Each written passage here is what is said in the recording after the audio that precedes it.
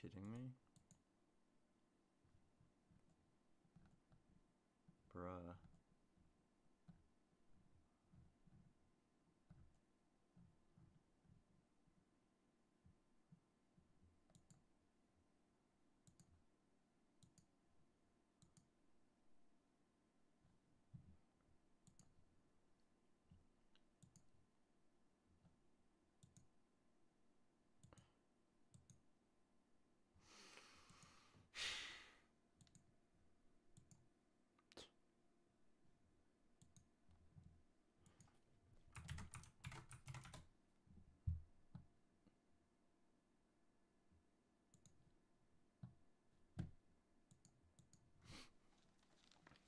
Okay, testing.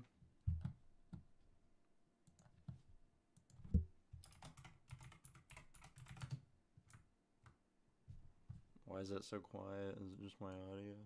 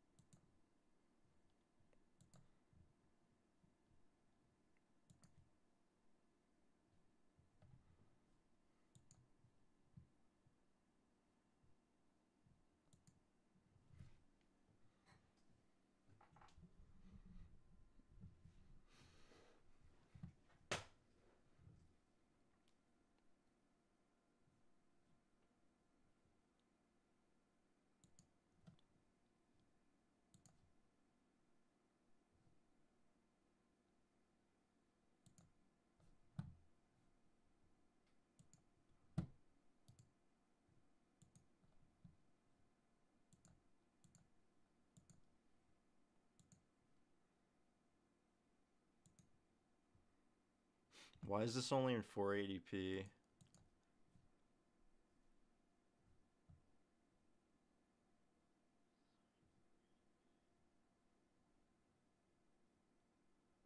Oh well, I'm sticking with it. I don't want to redo it. I'll have to fix that later. Luckily, I don't really need more for this.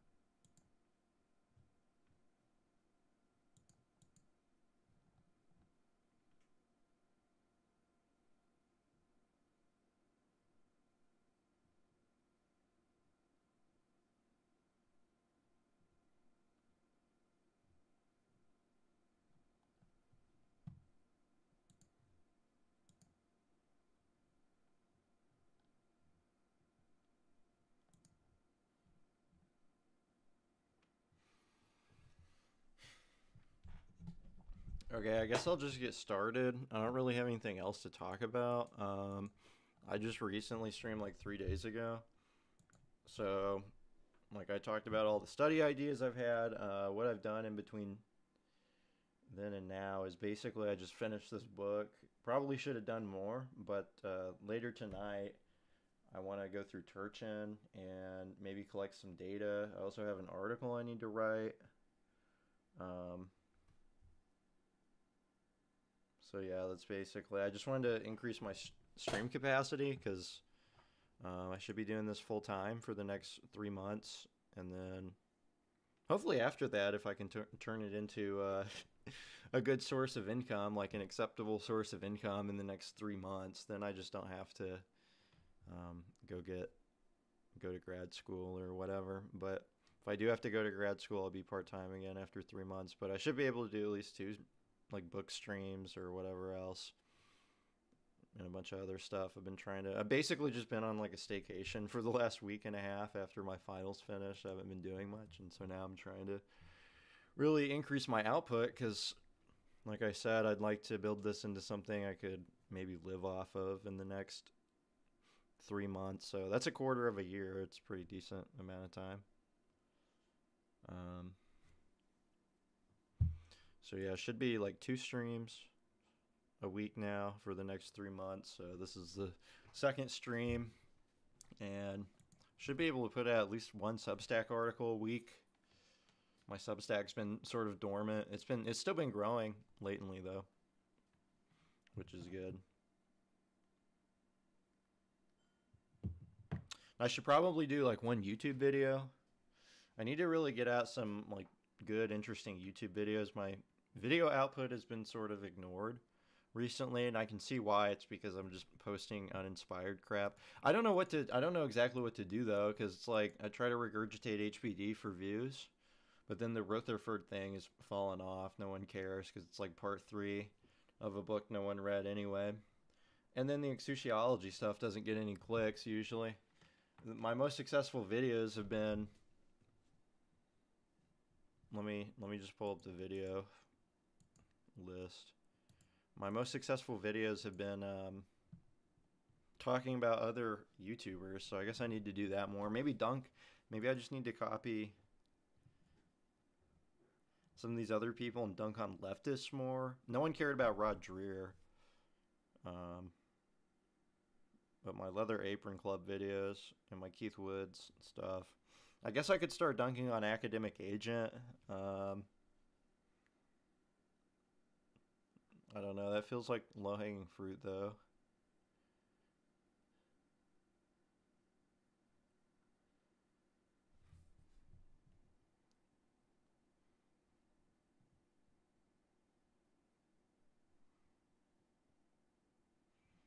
Yeah, I don't know. Post any ideas. Send a $3 super chat with any ideas if you have any.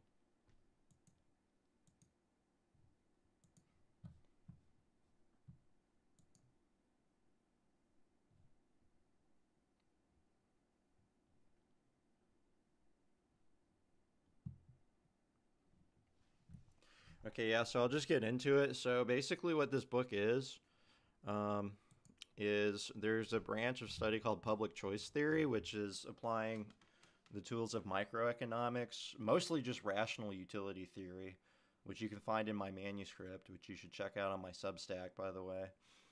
Um, just like you assume that people are maximizing their utility, and then you can sort of do logic on how people will behave with respect to money because they're going to maximize their income and that sort of thing. So, public choice theory is just analyzing politics by assuming that people are going to act like rational utility maximizers.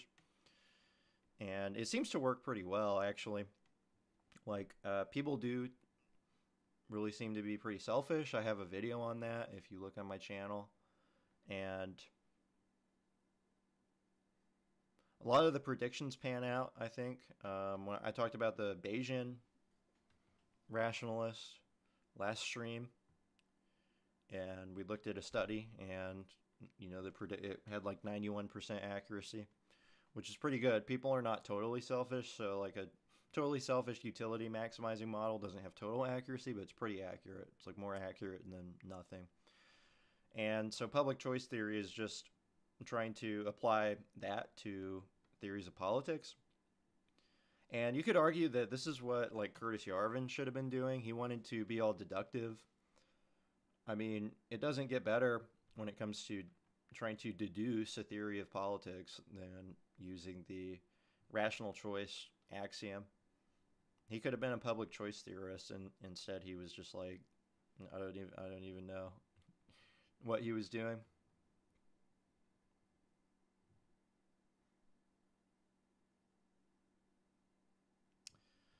So this is the first. this book came out in the 50s by a guy named Anthony Downs, and it's the first in a series of uh, public choice theory texts.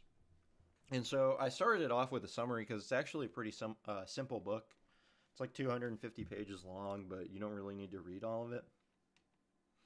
It's uh, it's really pretty simple. It's got like two main assumptions. So the first is that parties are rational uh, with specifically with respect to maximizing votes. So they always want to be elected. And so the votes come first and the policies come later. This is as opposed to thinking that the parties are true believers and thinking that they set off to accomplish specific policies and do what they do what they can to build votes for those policies. No, like pol- politicians and parties are modeled in this as being rational vote maximizers, so they create their policies to Username 37 cent $40 You maybe could study the Spanish and Greek dictatorships. Both of them basically fell when they let in American dollars just off Wikipedia. Looks like that might be why dictators are isolationist also have some free money king. Thanks, big shout out. I'll have to look into that. The Spanish and Greek dictatorships like uh, Franco, they fell when American dollars came in. That's probably I mean, if they're using American dollars, then the U.S. can tax them because the U.S. creates American dollars. See, some guy's saying the sound is very low. Let me test that. Oh yeah, that's kind of true. Actually, let me let me see if I can.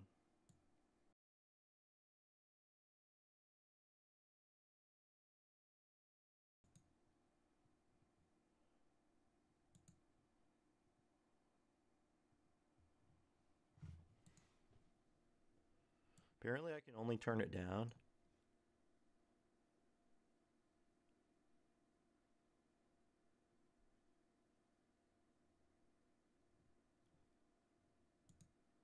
This is the ghetto stream. It's the low sound uh, 4 480p stream, so I'll have to fix this after after this stream. But I don't really want to restart.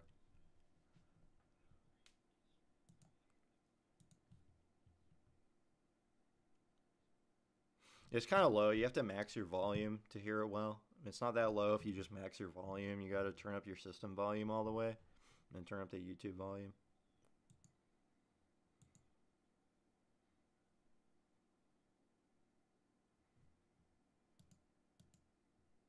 Yeah, I don't think it's going to let me fix that. So right now, so I'll have to fix it after the stream.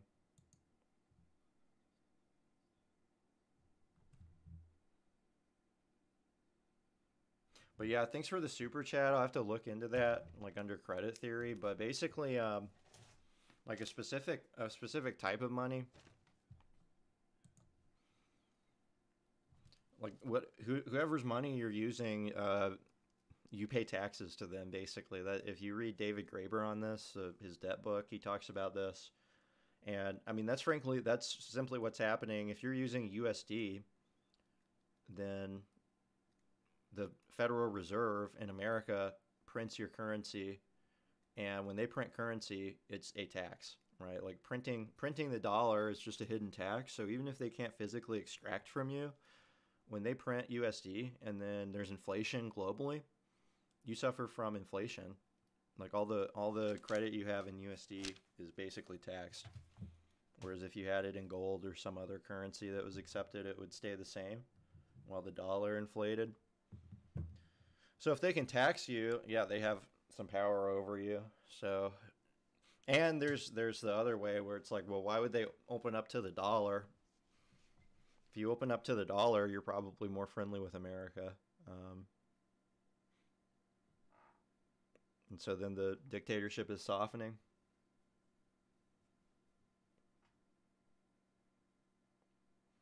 But yeah, anyway, back to this first book in public choice theory. He assumes that part or parties make their policies in order to maximize their votes, and then voters are voting to maximize their utility with respect to government action. And so specifically that means they're voting based on the expected utility they're going to get from the policies that they're voting for, uh, not necessarily on stuff like personality or just random votes. And so he draws, so I'm a little bit underwhelmed with this book. It's interesting, but a lot of it's just verbal. Like there's not much math in it. He just it's like, oh, we're gonna assume rational utility, and then it's just all words. So it's it's pretty decent, but it's like not real logic. It's pseudo logic, so it's not even given that any of this necessarily follows from these assumptions. Like you're just supposed to vibe that. It's just rhetoric. Right? He doesn't actually like bust out a utility maxing equation like I do in my manuscript and then like very clearly lay out his assumptions and then say like algebraically all this this follows. He's just like, "Oh, if voters are like rational, then um they'll choose ignorance sometimes when like being informed is costly and the and it's like at no it, he's not not even writing math he's just importing new new ideas like ignorance and stuff like that but it sounds it sounds legit it's a lot better than just like random navel gazing like whatever yarvin was doing just babbling about the cathedral See, I think like, and Yarvin's big thing was like a critique of democracy, and this book basically contains every critique of democracy he ever did, and it's it's better and more, it's ten times more concise. So I've been posting about that on my Twitter. Um, there's this thing called the Arrow theorem, which shows that a democracy with sufficient variation um, and like sufficiently like widespread like different minority views will have the minority dominate on a bunch of different policies or no, I don't know if that was the arrow problem. You'll also always have um, the opposition win, so the government will just switch every single election cycle. If there's like at least one uh, minority issue that follows, we're going to look at this.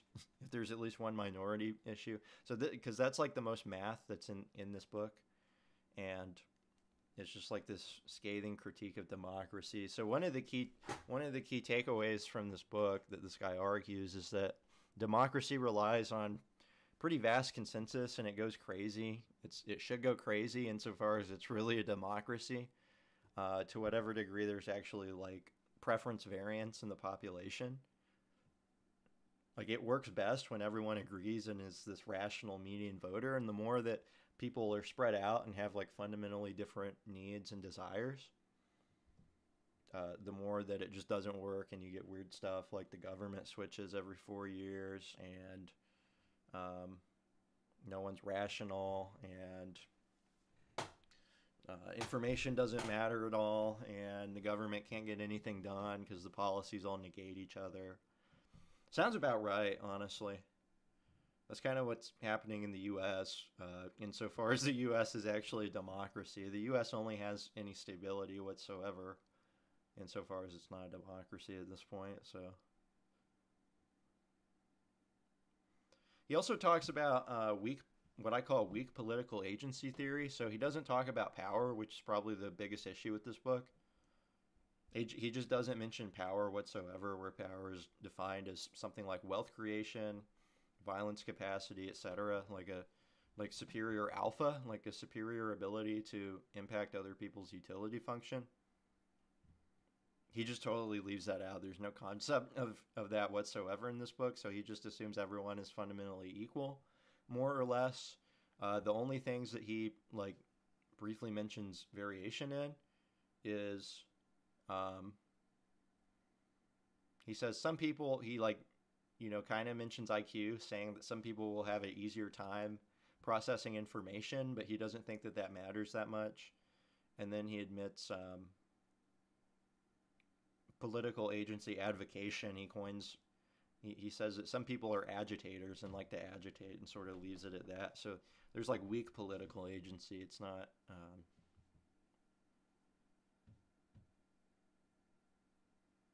very strong. And so I think it skews it skews the analysis a little bit that he leaves power out. But it is interesting that he's noticing the same things as me in the fifties.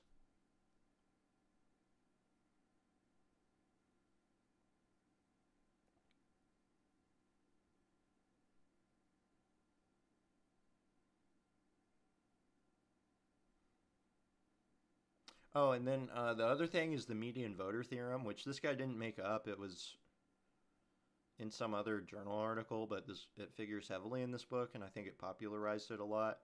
And it just says in a two-party system, it's rational for the parties to basically have the same set of policies, uh, especially when the electorate or the or the pool of voters is not like incredibly bipolar, like incredibly split. And this causes what he calls, he just says it's irrationality when the parties basically have the same policies, meaning the choice hardly matters, and then people just vote by like uh, politician personality. That's kind of how it seemed to be for the most part. Um,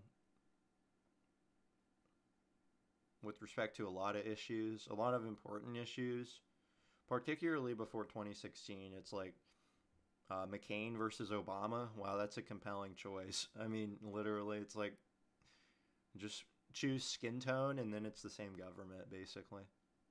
Um, like with re- with respect to a lot of actually important issues like immigration and civil rights and that sort of thing. And insofar as that isn't true, it would probably be because of stuff that this book misses, like uh, power existing. And so, insofar as the policies of those two men were different, it was because you know they were backed by different people, not because of their voter appeal. Um, so it's literally just like fiscal pot, like what they're going to do to taxes. Are they going to slightly lower taxes on some people? Are they going to lower corporate taxes slightly or raise, maybe slightly raise them and raise upper middle class income tax? I don't know. So.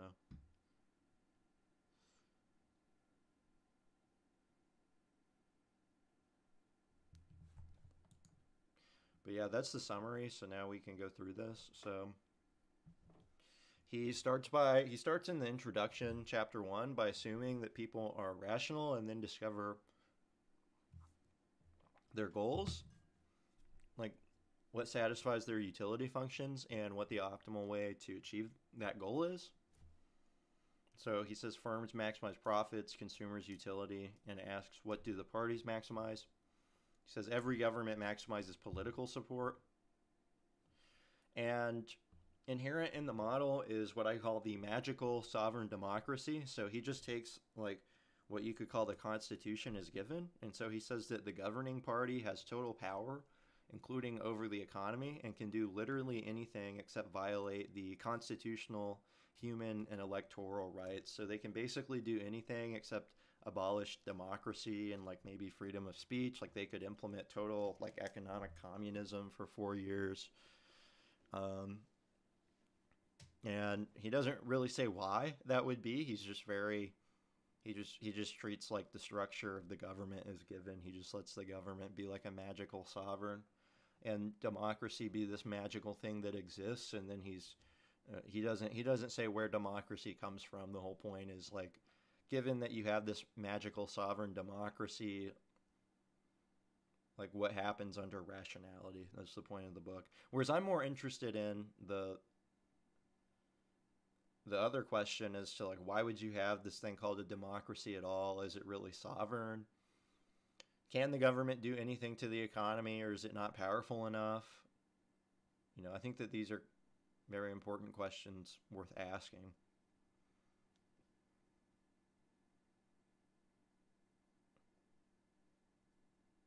So it's like I, I, I called it the political scientist fallacy to basically assume that. That's kind of what all the political sci- so-called scientists do.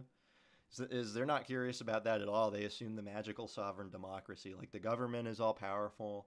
We just need to scrutinize how people vote. As we don't need to ask like what even is a vote? Like how did people even get to vote? Why would you let people vote? Why is only the government a democracy? Why does it not seem like a democracy? Why is everything else a dictatorship? Every literally every other institution in society is a dictatorship or an oligarchy. Why is only the government a democracy? Why is every other government in history a dictatorship? Where like where did that come from? Should we take it seriously? Uh, no, they don't care. Like what sort of you know what sort of economic and genetic circumstances would lead to let's let people vote. Um, they're not interested in that. They don't answer any of that. They just they're just like we have a magical sovereign democracy. Um, people just vote and that's that. So we need to analyze uh, why congressmen act how they do in the magical sovereign democracy and why voters vote how they do. And then that's political science.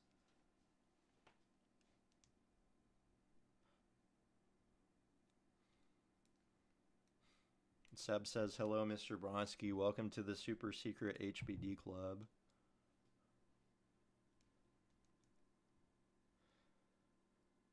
So anyway, they have really three assumptions. So I talked about it in the summary. They think that they have two main assumptions: rational or no.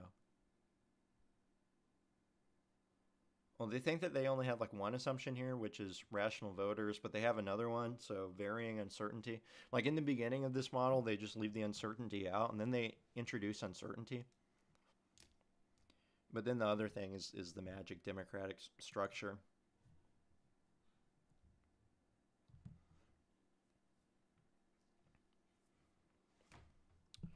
So the chapter one introduction uh, talks about the rational voter. And so chapter two talks about the rational party. So again, the government has magical sovereignty. Um,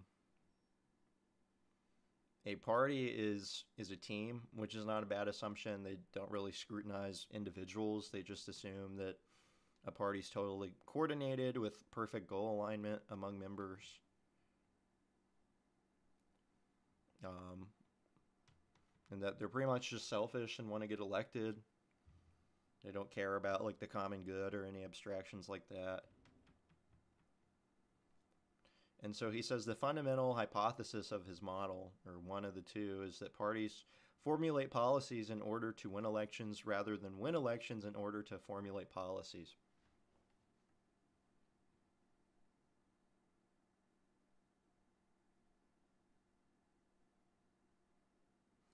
And this is reminiscent of the fourth tenet of the iron law of oligarchy, which is talking about how the leaders are Machiavellians, essentially. This is basically the same thing. So Michels wrote that in political parties. He said based on his study, they act like Machiavellians, which supports. Remember, his it was a proto-scientific empirical study. It was his experience, um, particularly dealing with socialists, and so he said that the leaders tend to be motivated by the desire for power, prestige, and income, the love of conflict, and not really by like grand ideas or whatever by like actually implementing socialism. They just act like vote maximizers. That's what Michelle Michels noticed among socialist party leaders. And so that's the same thing here as the fundamental hypothesis. So the fundamental hypothesis of the parties is essentially the fourth tenet of the iron law of oligarchy from political parties. So if you accept that book as legitimate and the sort of anec- anecdata evidence in it, that's some evidence um, verifying that hypothesis of the model.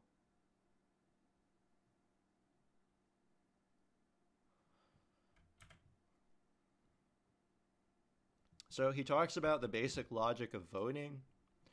And essentially, they're just comparing the expectation of the utilities for the two different parties.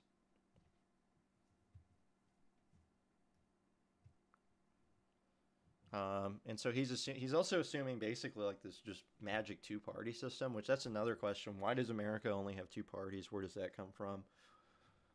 Why is that logical? He doesn't really ask. He's just like, oh, it just has two parties, so people will compare the utility on how they vote. It's pretty simple.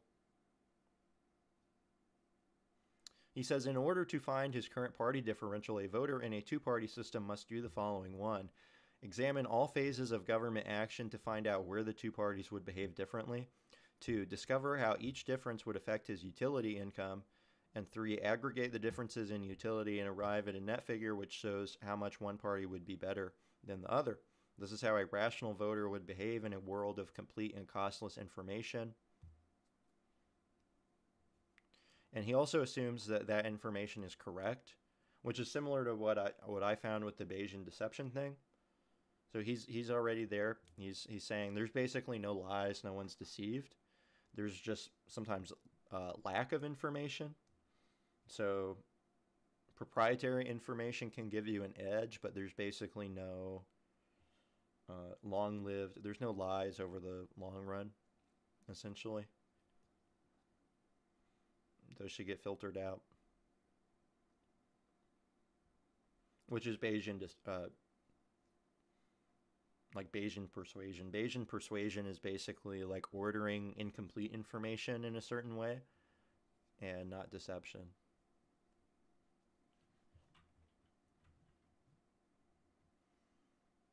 And of course, the voters in this model just have these fixed tastes, like it's just a result of their genetics or whatever. They're not changed. Like parties can't change their tastes, the government can't change the tastes of the voters.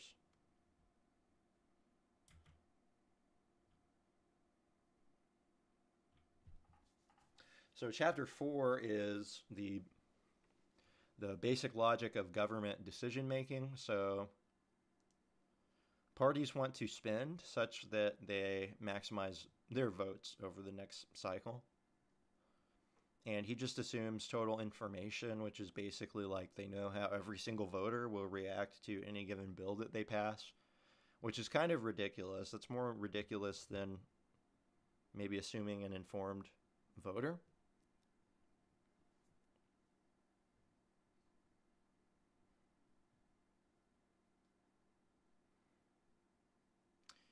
But uh, okay, here's this interesting theorem. So, how minority views win. So, you have the set of issues P, and you have the incumbent government and you have the opposition party that's out of the government that wants to win.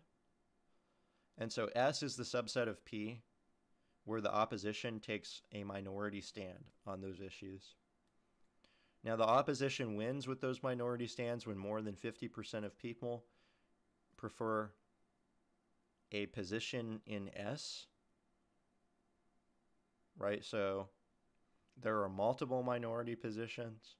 So more than 50% of people can prefer at least one position in S, the subset of P, where the opposition takes a minority stand, and those preferences give more utility than is lost on the majority positions.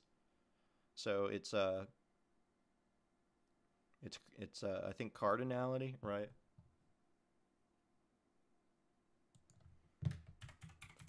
So it's the magnitude.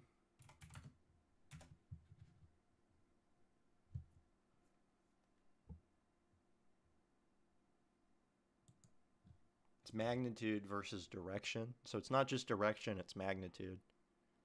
So the magnitude of those minority positions gives more utility than is lost on the majority position positions they hold that the opposition rejects.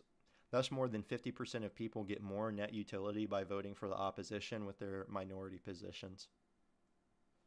So that's how that's how minority views win in a rational democracy. But then the but then the Arrow problem follows. So he says let there be positions A, B, and C. So say you have three people and these are their preference orders. So like person A prefers A over or person 1 prefers A over B and B B over C.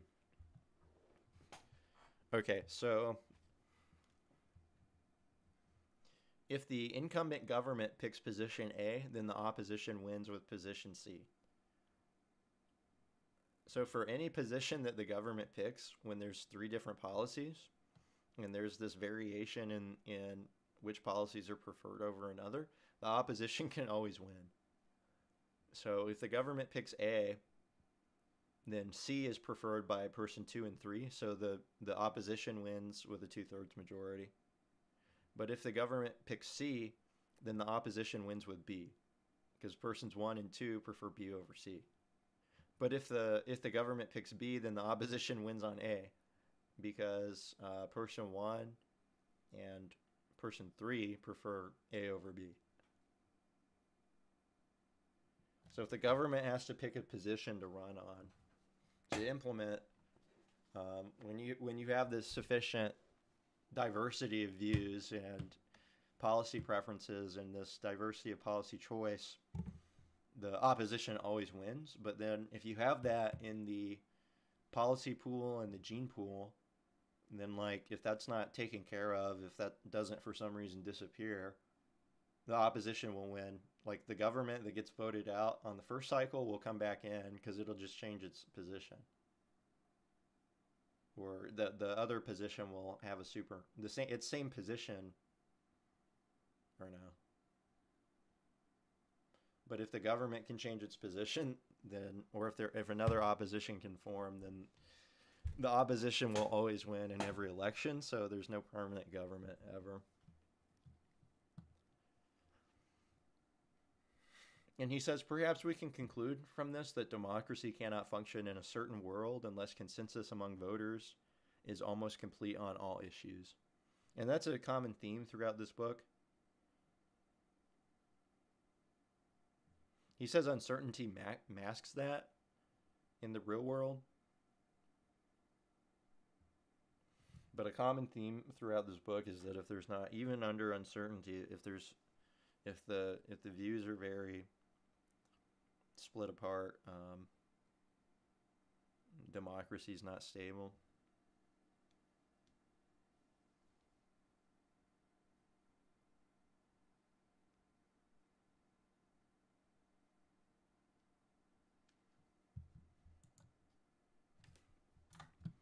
That reminds me of that Pew poll. Let me see. Pew increasing polarization.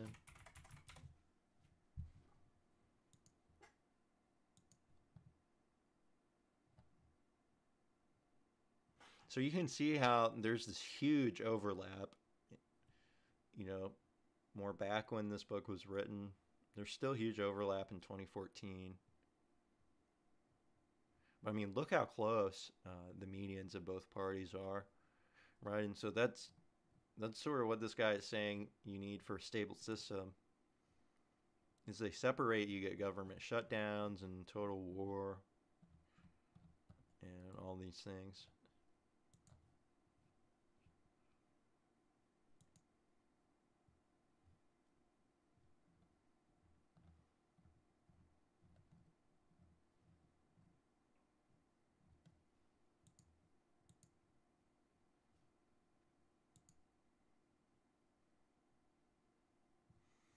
Killer Pascal says you didn't read my coffee chats yet from weeks ago. Okay, I'll read them. I'll read them when I'm done with the slides.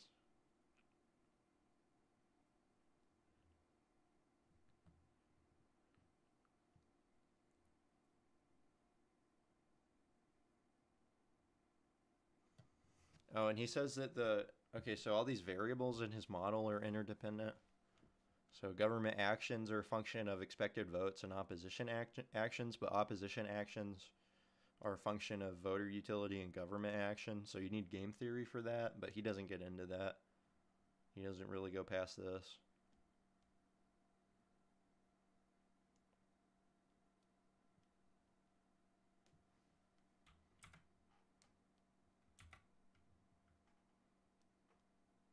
So this is the first part of his book.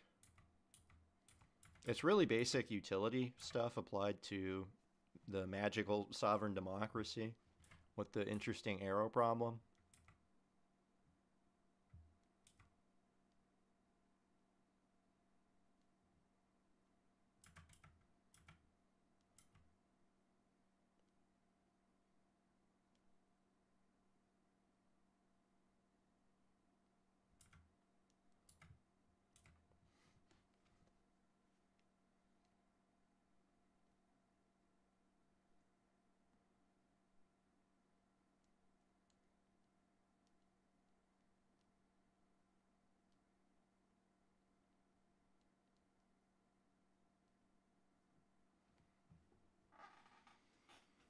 So on on then he gets into uncertainty. So he assumes everyone can reason, which is a big assumption that I don't necessarily share, but descriptive knowledge varies. And he gives the different types of uncertainty. Basically, they can be uncertainty uh, uncertain about everything. So their utility could go down, but they don't know why. They can't predict how a policy will change their utility. Uh, they don't know what the government's doing. They can't predict how their vote will impact policy, and they don't know how others will vote. And then parties don't necessarily know what will actually happen to the economy if they introduce a policy. They don't know, even if they did know what would happen to the economy, they don't know what happens to utility functions.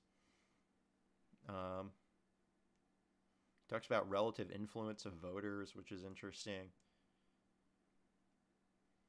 They don't know how much the voters are paying attention, and they don't know what their opposition will do so that they can counter it.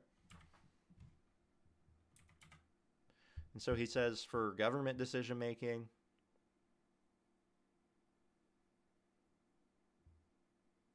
oh, he gives an interesting formulation for agitators. So these are basically I coin I, I call them advoc- advocates, and this is a thing in, in political agency. And so he says that uh, certain voters will agitate and and I had an idea for like a law of mass riots or mass protests. And it's like uh, the number of people that show up should be proportional to like the advocation constant. So the number of high, high political agency people or the distribution of high political agency people or high advocation people at least and um, the cost and so he's basically saying the same thing he's saying agitation is related to party differential which basically just means cost from the wrong party winning so when your party differential is high you really hate the opposition and then there's a threshold so your agency is how low your threshold is. So some people have lower thresholds than others for agitation.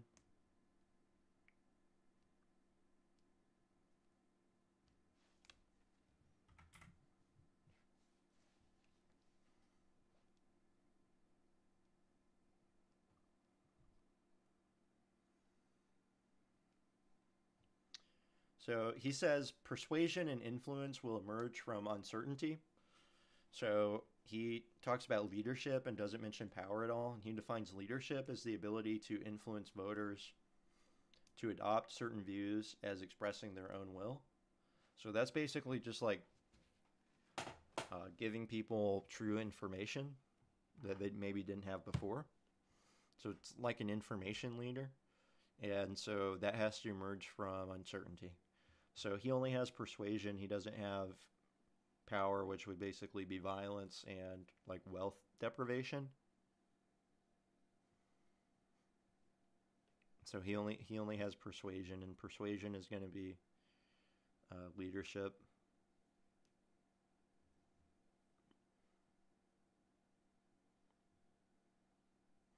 And he does talk about interest groups and favor buyers briefly.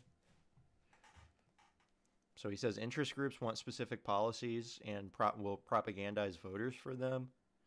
And they will claim to represent the people. Favor buyers just drop the pretense and try to just buy policies.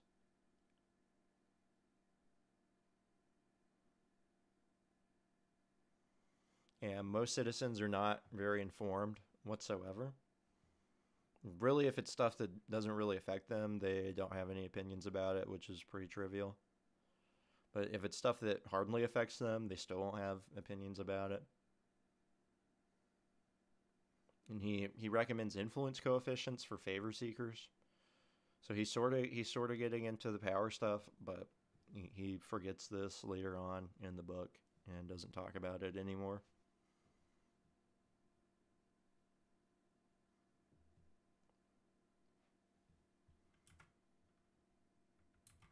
So I have some I have some notes here, and I'm like, so if you do if you do have power and like you have people who are in hierarchies, then voting wouldn't really be like voting would sort of be weighted by how much money each person is spending on the vote because when power exists the powerful just change how people they have power over will vote.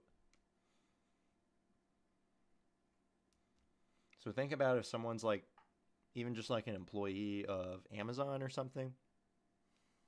Uh,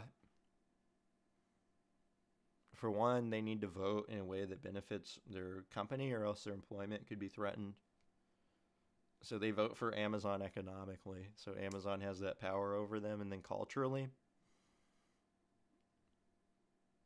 Certainly, if their vote's not really anonymous, if they have to reveal their vote to others, it can become a signal to power.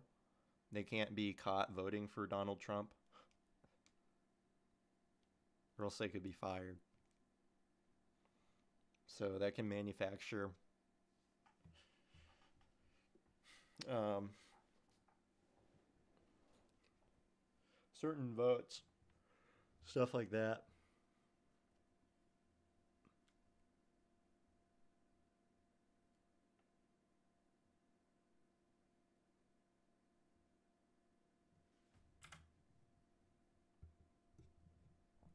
So he talks about ideology, like Mosca political formula, briefly.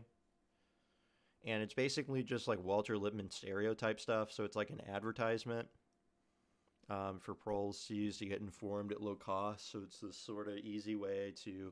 Because think about if you don't have an ideology, you just have to talk about specific policies, and very low IQ and political agency people won't even know what you're talking about. If you're like, um, I want to, uh, you know, do this, this, and this, you know, I want to cut funding for education this much. I want to implement this infrastructure bill.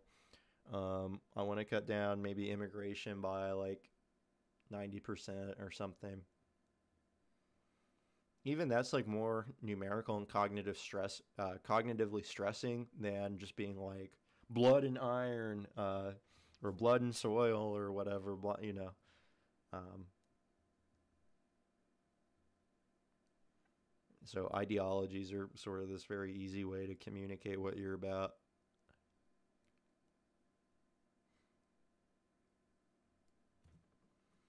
And they emerge because of information costs, essentially. No one wants to go through your whole. I mean, just read like a party. Like parties put out platforms that are like pages and pages long, talking about specific esoteric policies. Just think about like, okay, I think the Labor Party did this recently. Like, so think about this big, long, boring platform. Yeah, 107 pages. Yeah, who wants who has time to read this? Uh, a lot of the stuff about information and uncertainty just talks about how it's irrational to bother reading this and how nobody has time for this and who even cares? So it's like you got to have ideology to try to communicate this more efficiently. Like, oh yeah, we're about equality and giving more gibs to uh, like government workers and school teachers because nobody's reading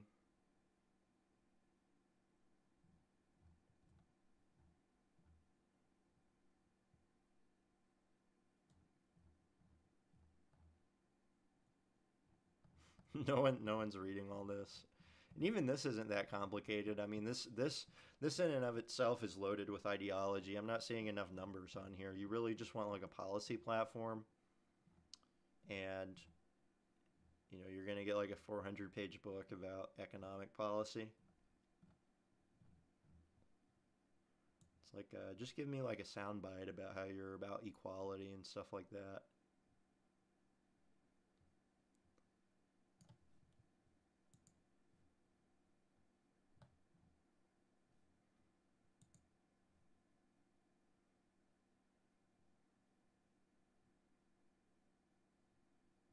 But the ideology needs to be consistent with past behavior, or else people can't predict how you'll act.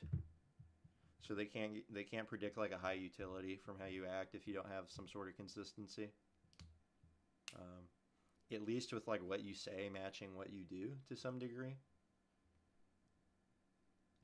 Because if what you say doesn't mean anything, then people will not know what you're going to do at all. So either your actions need to be consistent over time or what you say needs to predict your actions consistently. And so he calls he calls the latter being reliable and the former being responsible. And he calls integrity just um, it being straightforward, so no weird function, because that's sort of a technical redundancy. But in theory, it could be like reverse psychology, like you do the opposite of what you say. So technically, you can predict what you're going to do from what you say, but it goes through a weird function. It's not straightforward, so you don't have integrity. But you do act reliably as opposed to randomly.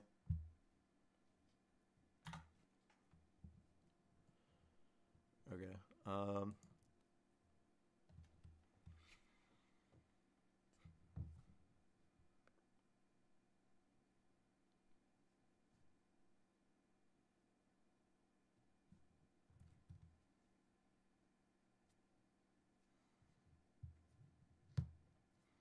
So then he starts talking about the median the median voter theorem, and he talks about how in two parties, if extremists don't protest, abstain, then convergence will happen on the center, on the median.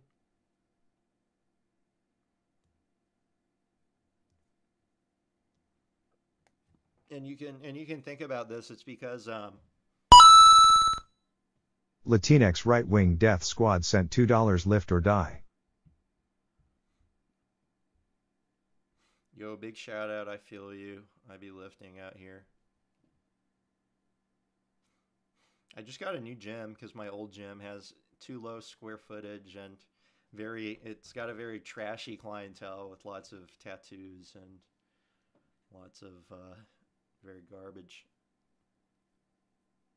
garbage people and you have people like lifting uh, you have people trying to like troll you at this gym. So i found a different i found a different gym with uh, more square footage so it's less packed together. And um,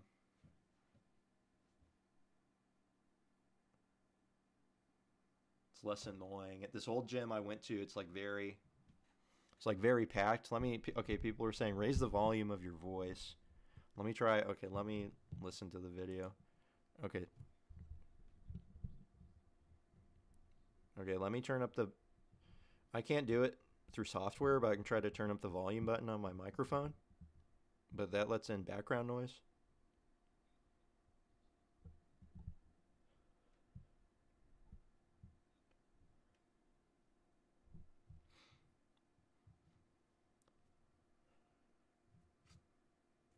Okay, yeah, but anyway, so back to I think this is as loud as it's going to get for this stream. I really need to fix the 480p and the this should be streaming in 1440p. I, I need to fix the audio and the 480p after the stream. But anyway, with the gym, I was 22 year old Latinx liftocratic frog sent $2. This is my last day being 22. Fuck the gay philo right and take their women.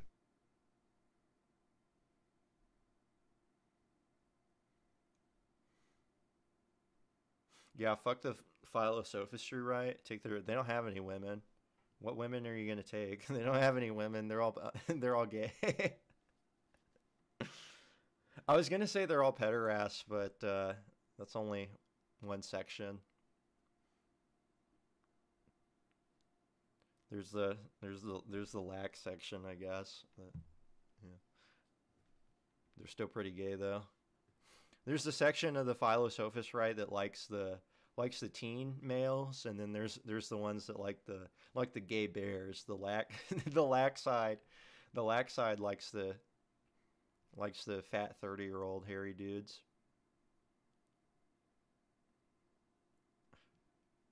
But uh, yeah, so they don't they don't have any women. You'd see the women if they had the women. I'm thinking H the HBD side, they got at least one girl. There's like two girls maybe.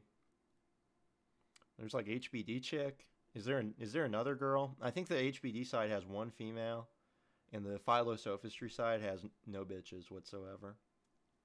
I can't think of a single philosophist girl. Yeah, Ju- I guess my stream's delayed, but Julius Caesar says HBD check. Yeah, that's what I'm saying. HBD. I thought there was another. Thought there was another girl on the HBD side, kind of. Uh,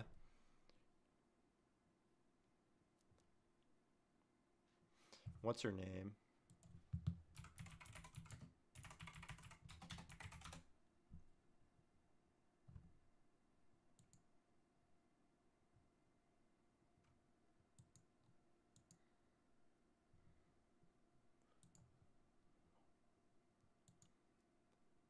Uh, Simone Collins, maybe Simone Collins, wife of Malcolm Collins. They're kind of HBD, I think.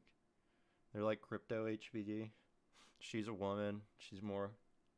They they seem to be more HBD than. So we got like uh.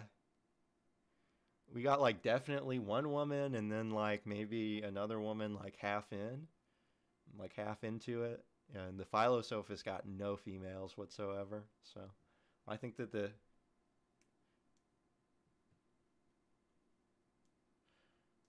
Yeah, the breeder couple? Yeah, it's Chad.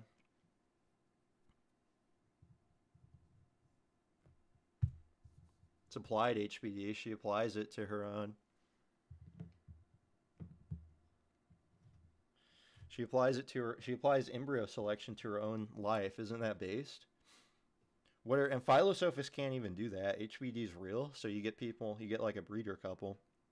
You get like a eugenics embryo selection couple. The, what are the Philosophists going to do? Read books?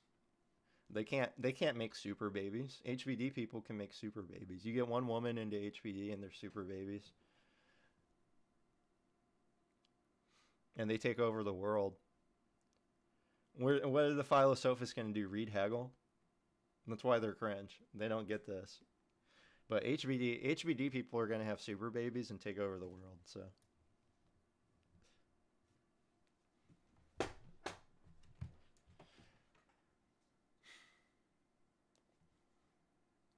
That distracted me. I was talking about the gym. I guess I'll just go back to the slides.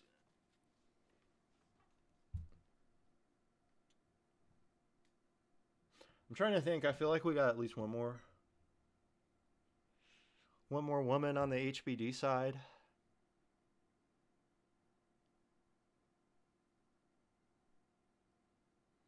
I'm really just thinking of people I follow on Twitter. I've seen, I don't think I follow, I follow Simone and Malcolm Collins. They have that joint account. I don't follow HBD Chick, but I see her retweeted sometimes. I don't know if she's inactive right now.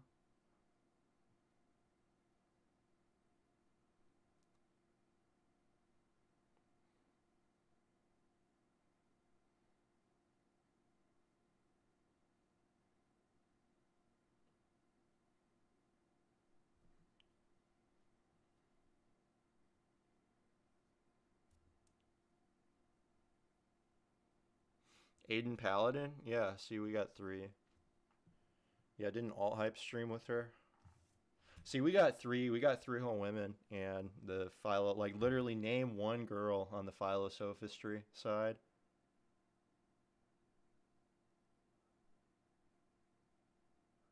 Has Bronski ever talked about JayMan and HBD's chicks' theory of Western Europeans like Hajnal line? And being less tribalistic and more universalistic than other people, white leftists especially. Yeah, that sounds about right. I, I read part of Kevin MacDonald's individualism in the Western liberal tradition, which is basically that.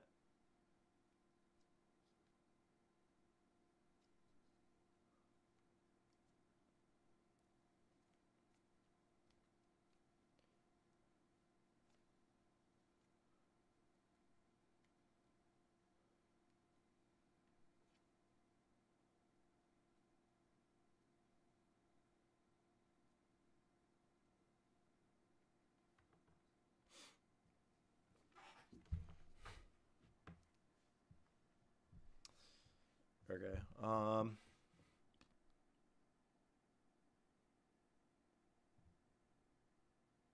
They talk about how parties need to weigh coherence versus integration. So that's weighing broad ideological appeal and deep cardinality. So voters want a good expectation for their utility returns, but low variance.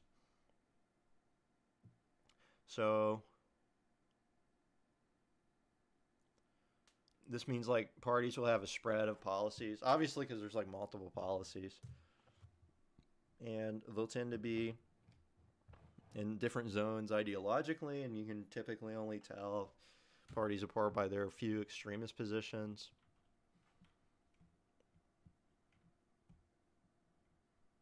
But a voter wants the least policies that they disagree with, so they prefer low variance.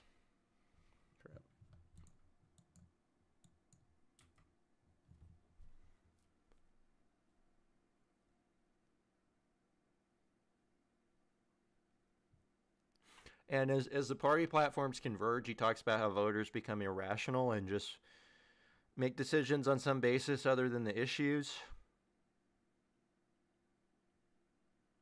It's pretty simple if you think about median voter theorem.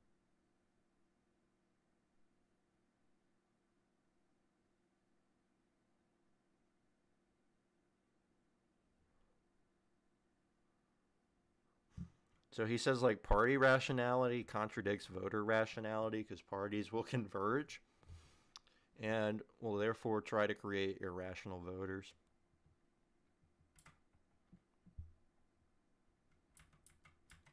Okay, and then finally, he talks about information.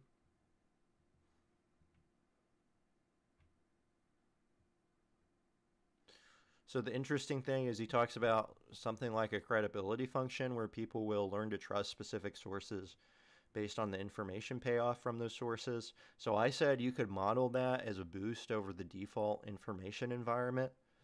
Like so like new information is a service worth paying for proportional to the boost to your utility. So if an info source doesn't give a payoff, a rational util maxer won't go back and that's again another reason why deception isn't going to work because like if that's what's happening uh, no one's going to willfully consume deceptive garbage that then by definition harms their like lowers their utility function.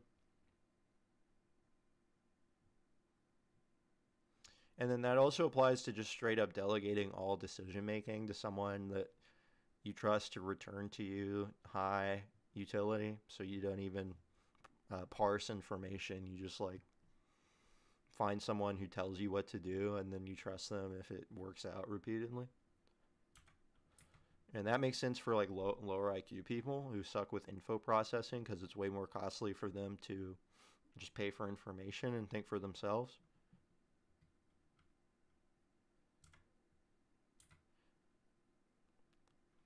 And so that's maybe the stuff of leadership is uh, being a businessman that makes decisions for other people. Your business is making decisions for other people and giving them returns on it. And you do well if you give people back uh, good utility. And so that's not power over those people because power is making people do stuff that they don't want to do. It's leadership because you or like replacing their executive function politically, but you have to give them stuff that they want. Like that's the whole point, or else they'll go somewhere else. So I'm kind of like that. I'm like a I'm like an info source, and people. Oh, and he talks about how people will um, gravitate towards information sources that give them information that's relevant to them because different information will be relevant to different people who have different issues with the political state currently. And so you know it's like people watch me insofar as i give you information like this that uh, you know maybe improves your life is at least entertaining but maybe you know gives you utility uh, informs you on things that you weren't that informed on and increases your utility from your decision making. So if you find that that happens from the info I talk about, then you'll come back.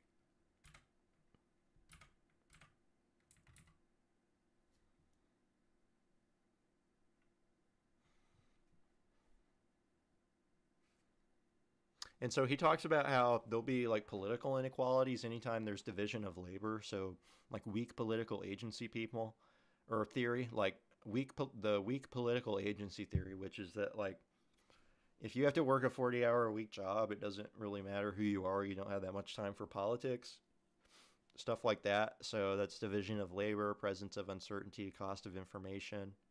So you don't even need like, oh, some people are just low IQ and can't even understand it and therefore have to delegate decision making.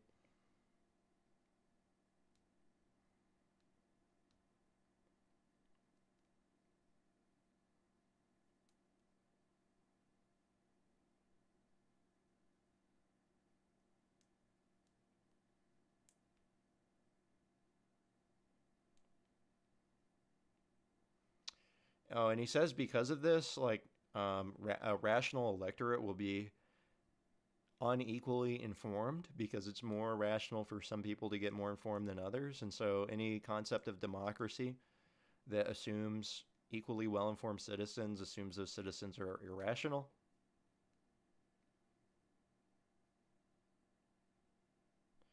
Then he says the foundations of differential political power and democracy are rooted in the very nature of society. Pretty base take. Yeah, I say it's also rooted in genetics because I'm a proponent of the strong theory of political agency.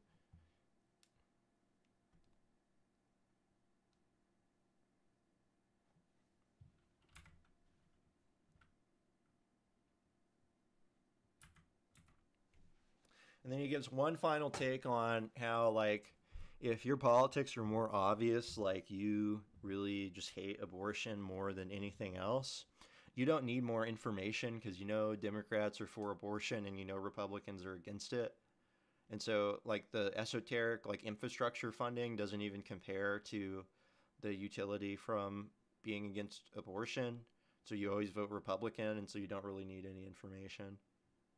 Whereas if you're like very moderate on abortion and stuff like that, and you're like in between, you're like the median, you're very in between the two parties, you need to have more information. You need to get down into the weeds on tax policy and, you know, the capital gains tax and uh, tariff policy and, you know, foreign aid and crap like that and try to make your decision based on like like the smaller your party differential, the more information you need because the the the deciding factor is more microscopic, basically. But he mentions a study how IRL this is probably not true. People who are more radical and have a higher party differential tend to be better informed, and that's probably because of advocation because those people just enjoy consuming political content. He mentions modeling some information as just entertainment. And but he doesn't he doesn't say that this could fail because people with high party differentials like political entertainment more but that's probably the case so. Yeah that's it on that's it on the economic theory of democracy. It's really it, the core of it like i said is really very simple literally just applying rational utility theory to um, voters and parties. And then at the end, he gives these testable propositions.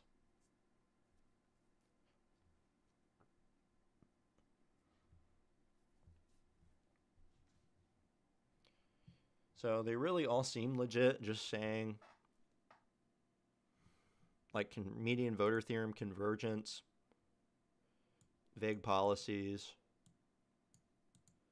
ELO 4. This one seems unrealistic. Democrat governments redistribute income from the rich to the poor, maybe from the middle to the poor, but they don't do it from the rich.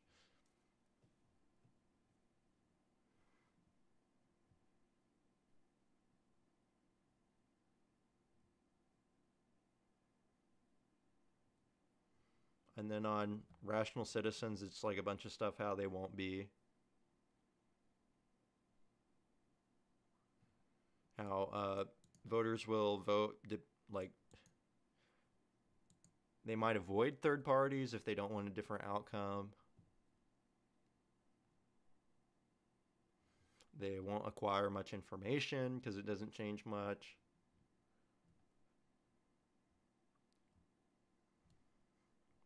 They will care a lot about an issue if it affects their income. Huge. That's like Bronski's law of teacher politics, which states that uh,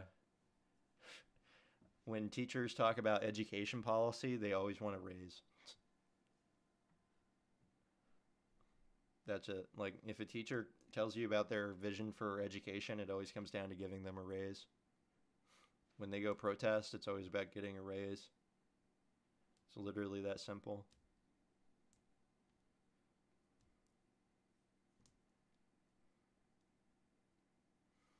I wonder if I could inductively prove that by just like listing 20 examples of like teacher protests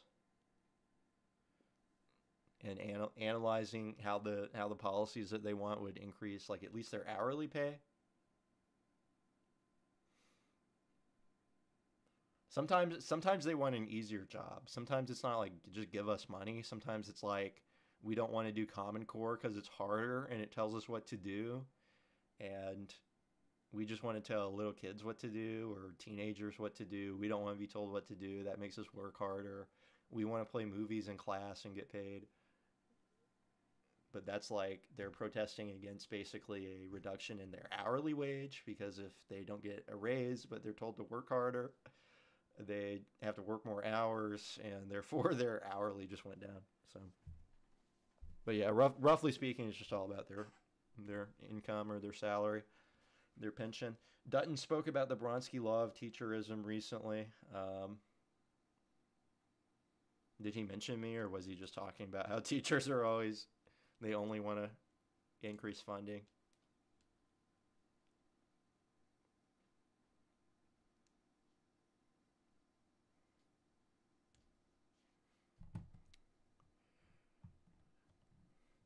Okay, yeah. So there was like okay, so like ultimate review of this book. Uh, not really enough math. Like the most interesting parts were the math. So like MVT, literally just the median voter theorem, which only, com- uh, which only is relevant sometimes, and then um, the Arrow problem of democracy was interesting. The rest of it is almost like, again, it's unclear how you derive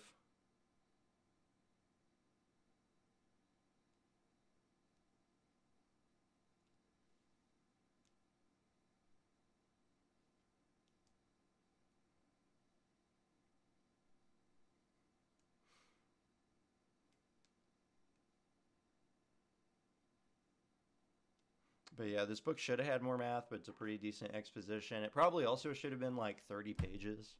You can really skim it pretty hard. Um, not really anything mind blowing in it except anticipating,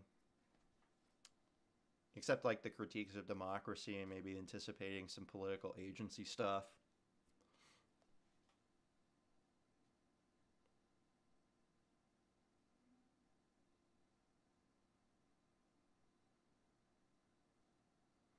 Not really enough empiricism. Again, it's like literally 300 pages of a model, but the model isn't even that mathematical. It's like kind of mathematical. It's like trying, unlike Moldbug, but there's really not many like equations in it or anything.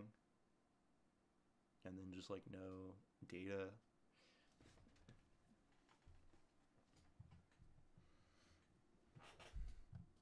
So yeah, uh, now I can read my me a coffee. Joseph Bronski. I don't even. Now I'll read this guy's chats. I don't know why he won't just do uh, power chats.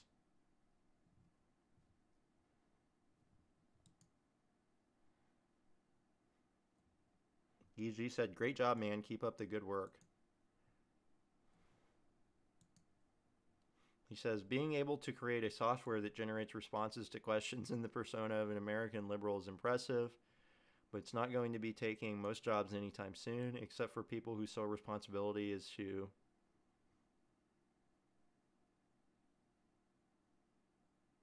basically be a chatbot. That's such a BS job, so it'll only kill BS jobs. Why would it even kill BS jobs? The point of the BS job is to appear employed, not to actually do anything that makes money or is productive. So I don't even know that it'll do that.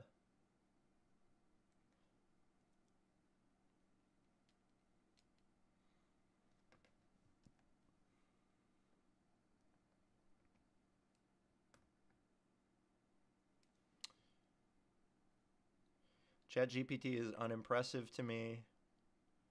Just an aggregation of typical opinions expressed within the input data. It's more impressive to me what you have to do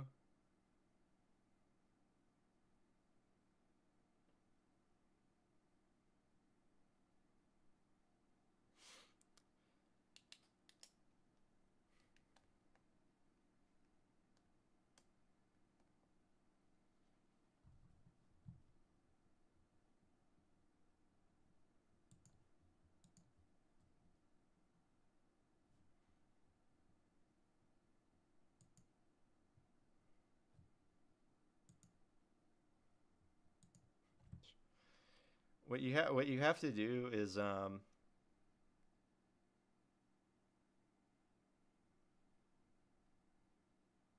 you have to use it for coding basically. it's really impressive how it will spit out code and how it will be a better Google. Uh, but obviously, like it wasn't even a liberal until um, they did that on purpose. It used to be based; it would like say racism, and then they changed like they changed it. They censored it. You should go. You should go look at that. There was a bunch of Twitter threads on that. How like GPT three like a year ago was very based and then they started censoring it because oh no and so it's like been it's like been hard coded basically to say liberal crap and to shut down and say i'm not supposed to talk about that it literally says like as an ethical ai model i'm i find it you know i can't disparage a group of people blah blah, blah. so yeah on really esoteric stuff it has no idea like if you ask it about the teen brain it doesn't it hasn't read my book because it's like the only other content on that is just saying that it develops at 25 or whatever. So it has it has no idea there but for like H for like HBD it knows it just isn't allowed to say. You constantly talk of both doing exousiology full time in poverty and also doing a postgraduate to earn money, which is it. I was doing undergraduate and I graduated like a week and a half ago, and now I'm doing it full time. But exousiology was my only job because undergrad isn't a job, and so now if I can't turn this into a full time job in three months, I have to go be a TA at grad school in a P- in a PhD program.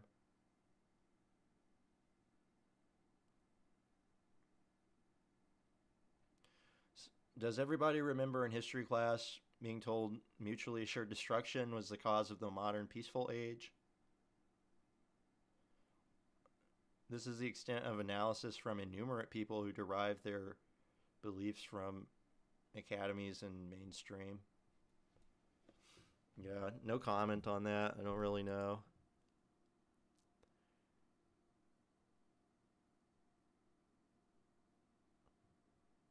Reddit is not 100 IQ. Yeah, maybe it's like 105. I feel like it's gotten so low IQ though. Most people, like if you look at most Reddit comments now, they're very dumb. Many people suspect that there's just like full-time bots, like literal chat bots now too that use Reddit. But just assuming assuming that's not even true, let's just look at how like most of Reddit is not um sustained reading. It's like just reading headlines. Like no one is reading these articles.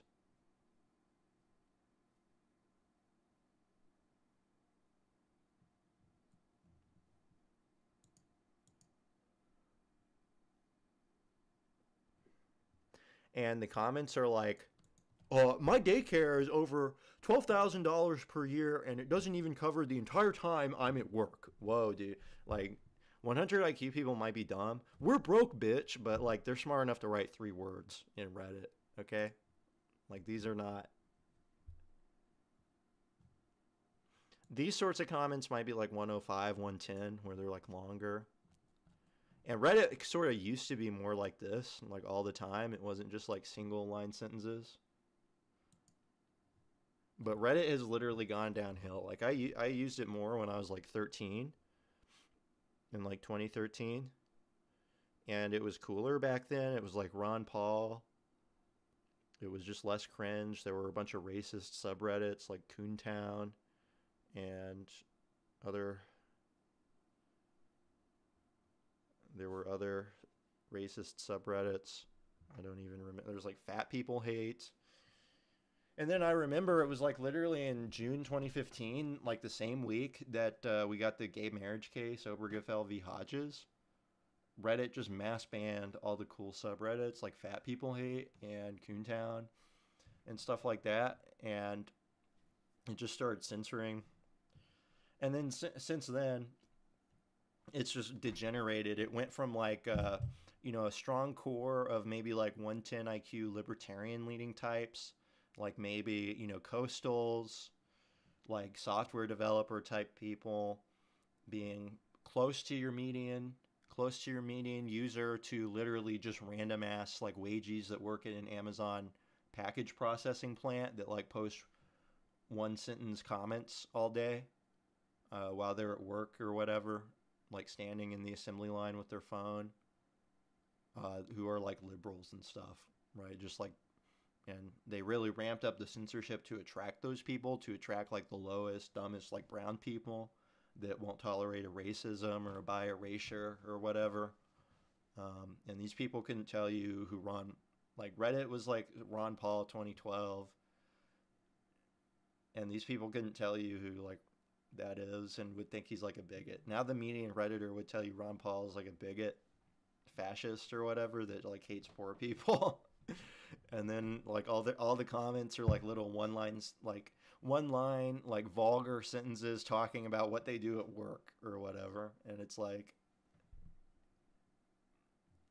and it's like literally look at this like and also just look at the comment when i'm at work we're broke bitch talking about money. I have people applying for a job that refuse because the pay is less than the cost of daycare i don't set the pay i just hire them three out of three comments are about like lacking money they're like and they're like institutional job that they didn't create this is about this is some woman talking about her kids probably they had women. There used to not be women on Reddit, basically. Now it's like filled with women. They had to ban they had to ban the racism to get the women on basically. They literally just wanted to expand and what happens when your core user base is like free speech, libertarian, like mildly autistic dudes that might tend to be like software engineers and stuff like that.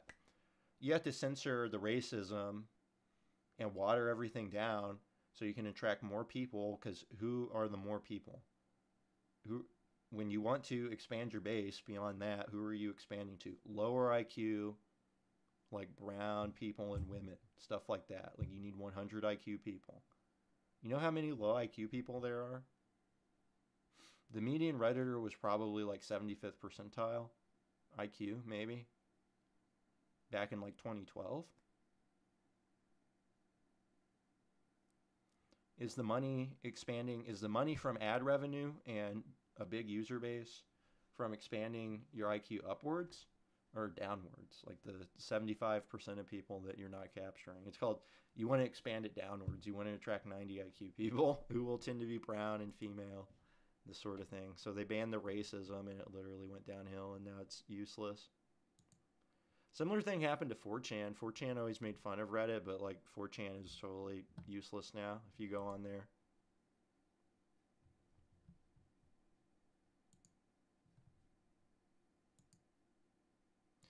Every single top comment, this is like kind of a substantial comment. Redditors these days will literally respond to a comment like, Can I get a too long didn't read? Like, whoa, that's a lot of words. You ever had that happen where you write like three sentences and people are like, that's a really big comment. Can you summarize that for me? I've had that happen. Not even kidding. the comment is like 80 words. Nobody's going to read all that. and it's like some guy who can't use their, uh, doesn't use their shift key. They like write in all lowercase without any punctuation. Can I, lowercase, get a get it too long didn't read on this gigantic 80 word comment that's like three whole sentences it's like no punctuation and that's not like a that's not a show you know if you look at a person's account history like that it's they're always like that um,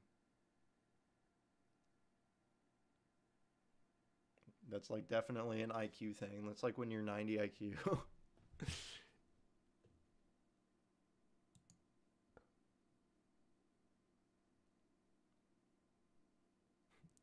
Redditors be like, no fucking money, no fucking, just be vulgar for no reason, no fucking houses.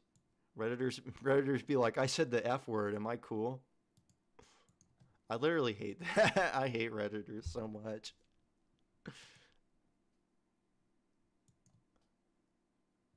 Okay, Fox News bot. This is what I'm talking about. This is the average. You think this guy's over 100 IQ? His comment is one line, no fucking money. No fucking money. That got Reddit gold. That got Reddit gold. And his most recent comment is, okay, Fox News bot. this is the kind of people they wanted to attract.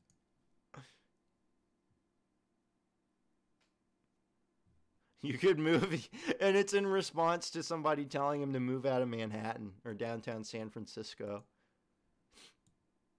You could just you could just move to somewhere where you can rent a house for seven hundred bucks a month. Uh, that's Fox News. That's Fox News fake news.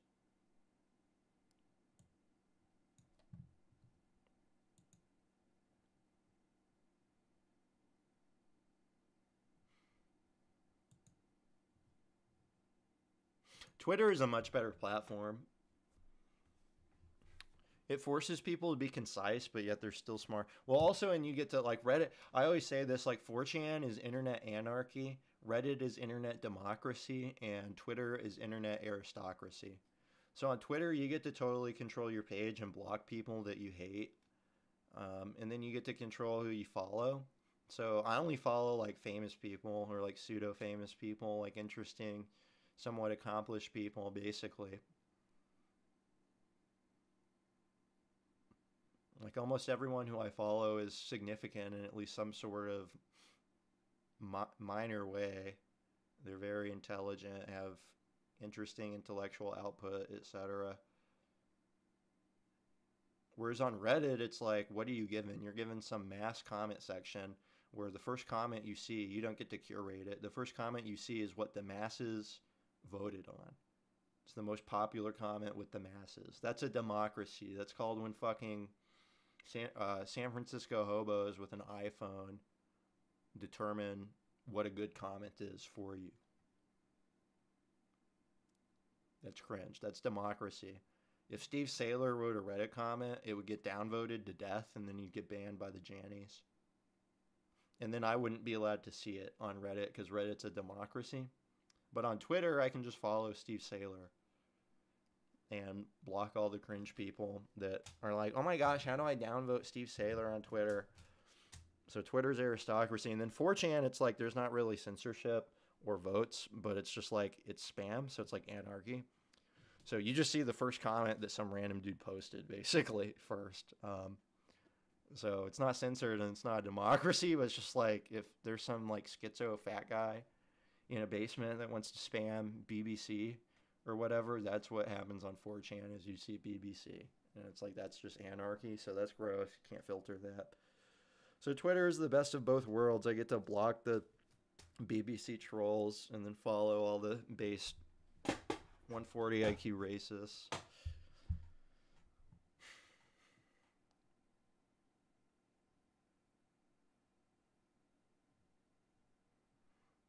What extracurricular stuff did you drop AP statistics for? Can't imagine you. I was auditing the class, so I didn't drop it. I wasn't taking it for a grade, but I just decided not to do it anymore. It was actually because I was taking a night class that I couldn't drop um, for chem chemistry one at a community college. That it was just like too much. I got too stressed.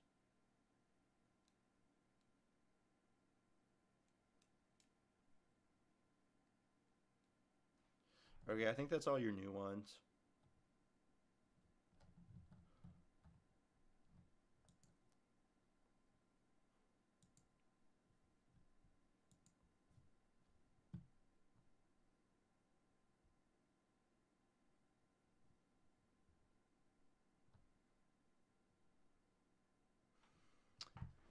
Okay, well, I think that about wraps up this stream. Uh, thanks for the super chats. Uh, more more shekels for the study fund. Uh, hopefully by like Saturday, I'll have some prolific studies out that I'll be able to talk about. So yeah,